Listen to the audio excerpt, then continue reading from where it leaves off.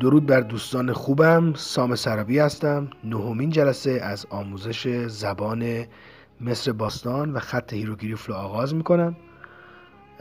جلسه دهم و می‌پردازیم به این جمله جدید. سجم یعنی گوش می‌کند. این علامت گوشه determinative گوشه. ام که دره انگار در گوش یعنی گوش می‌کند. سجم.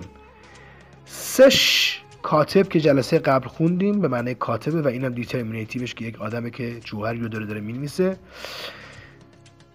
پن ان.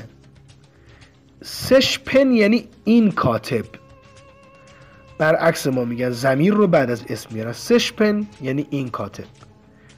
سش پن ان به این کلمه اسمش خوانده می شود پته پ ت ه و یه determinative خداگونه یا یک lord یا یک حکمرانی که می‌بینیم بالا هستش. پته یعنی یه باری که من جمله رو از اول برای شما می‌خونم.